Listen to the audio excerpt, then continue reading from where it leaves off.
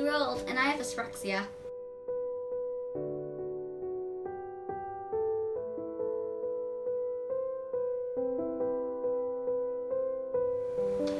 In your own words, how would you describe to people who don't know what dyspraxia is? I'd probably call it the the condition of probably the con like, the condition where you're clumsy and your motor skills aren't really the best. Like some pe some people, their handwriting could be stellar, but dyspraxics normally their handwriting's probably the worst.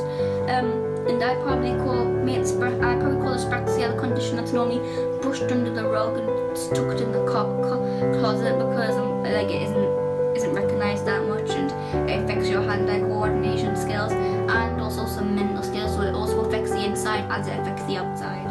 So, knowing what dyspraxia is, what made you think that Zara had this? Um, it was a mixture of things, just um, when she was really, really little, obviously the, the clumsiness, the constant falling over and hurting herself, um, being covered in bruises from it. But I think it was more when she um, was learning to ride a bike and um, doing things that all children kind of learn quite naturally, riding a bike, going on a scooter, roller skates. She just couldn't, no matter what we did, um, we just couldn't get at her to get that balance. So that kind of was the first trigger. Um, and then obviously she pros progressed into um, primary school, it was lots of little different things that um, were kind of picking up. Um, let me say the, the motor skills, noticed that she wasn't using um, knife and fork to eat her meals, she was using her fingers, no matter how many times we would tell her off to, to pick up a knife and fork and use a knife and fork.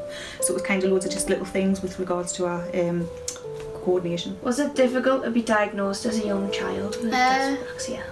I'd probably call it yeah, because as uh, as um dyspraxics are known, it's more boys that get recognised more than girls as because boys supposedly play more athletic sports and like football so that makes them be easy to be recognised because you could tell a child out if they're not kicking the ball right if they're tripping over tons but as girls we don't, we don't supposedly play as many sports so we so we don't get recognised that easily so um it, it's it, it, it, it, it, it makes it quite difficult and I guess as a child it's just dyspraxia it's quite hard to see.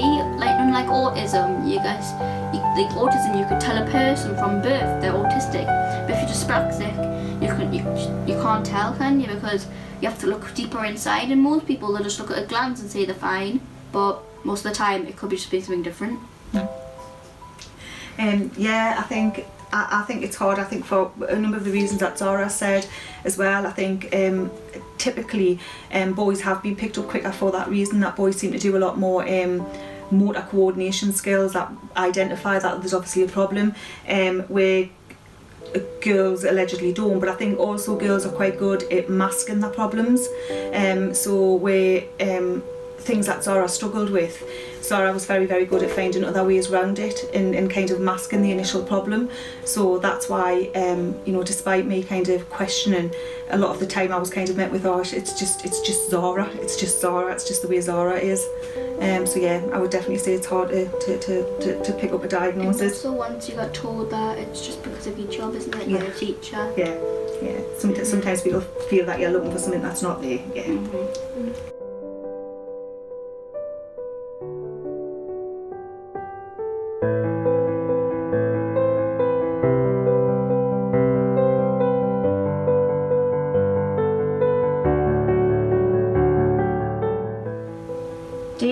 Difficult to swim or does it help with your condition? Um, I'd say it helps with my condition because um, if it wasn't for swimming, my mum might not be able to find out about my um, about like be able to get the proof about my condition so she could show it to the doctors and they could try and recognize it because they weren't able to, the one might not even worked and I guess really the only stroke I find my difficulty with is probably butterfly because with the hand if I haven't used different strokes it's quite hard like the hands like this and the legs like this. Well back crawl it's just like this. Front crawl it's just flipped. And butterfly it's just I mean breaststroke um yeah I'd probably call it I'd probably say it helps but there is some strokes that definitely I could definitely improve on and probably isn't the good at mm -hmm. Did the support and understanding come with the diagnosis, for example, school? Yeah, absolutely, definitely. Um, prior to Zara's diagnosis, um, with regards to, to school, there wasn't anything, there was no support there because they, they didn't understand. But then obviously once we got the diagnosis, um, and obviously the, the school educational psychologist was involved, um, Zara's educational healthcare plan was then put into place um, to make sure that she had extra time for like processing information and what have you, and obviously heading into our SATs to make sure that she had all the kind of resources and the time in place for that. Um, and then on the back of that um, came obviously all the other diagnoses as well because obviously once she was diagnosed with dyspraxia that's when they then picked up on all the other things i.e. anxiety and Asperger's and ADHD and hypermobility so kind of everything then came came as one um, and as a result of that yeah everything's been put into place for her now to, to, to kind of help her out um, and ultimately we were put in touch with a, um, a fantastic organisation, um, the only organisation for dyspraxia um, Dyspraxia Foundation who they've been absolutely amazing. They've given loads of like resources and advice and help as well. Did you find it easy to find information and help about dyspraxia? Um, once Zara had got a diagnosis, definitely. Um, prior to her diagnosis, not so easy. Um, there was little bits of information when I was doing some kind of research of my own, um, but some of it kind of um, contradicted um, obviously what I, I thought was, was dyspraxia um, but then once once she got a diagnosis and I was put in, in touch with the, the correct people um, yeah the, the, the information came to us quite readily from the Dyspraxia Foundation but what I would say is it's it came to us because I was referred to the Dyspraxia Foundation. Had I not, I don't think the information is out there. Um, I think Zara's touched on it herself. Um, dyspraxia is kind of the hidden condition so there isn't a lot of information out there because people don't know a great deal about it. Um, so yes in the sense if you're if you're referred to the right people who can provide you with that information but no if if, if you're not referred because there isn't isn't really anything out there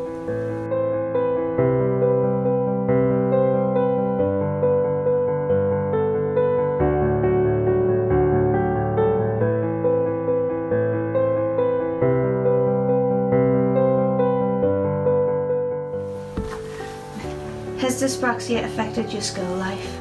Definitely, I'd say um, when I was in reception up to when probably when I was diagnosed in year five, well, probably year three, when a little bit of light on my condition was being shined, I'd call myself an outcast. Like I wouldn't have that.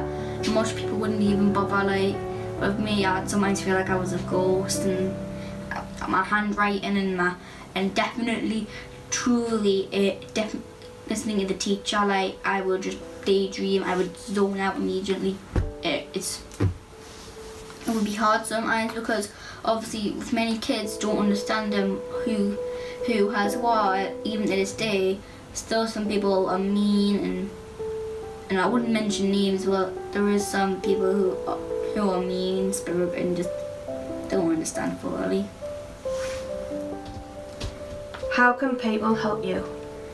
I guess by understanding my condition and probably just listening, like knowing that some some things might aggravate me and actually kind of helping instead of harming, like instead of being instead of being mean and like saying that don't it doesn't matter it doesn't understand like actually researching and maybe learning like what a dyspraxic has and what's different and maybe even just actually maybe even just questioning or asking like, is this okay?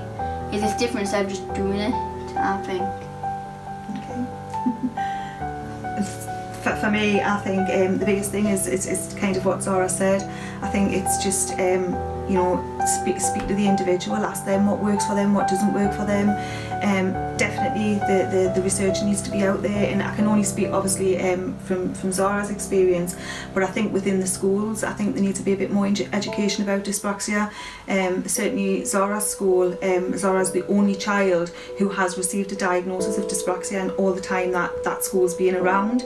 Um, now I don't for one minute believe that there hasn't been other children through the school or currently in the school who haven't got some form of dyspraxia so clearly um, teachers need, need a little bit more training and education the same way that they have with regards to like spotting autism and all the other um, conditions that are out there.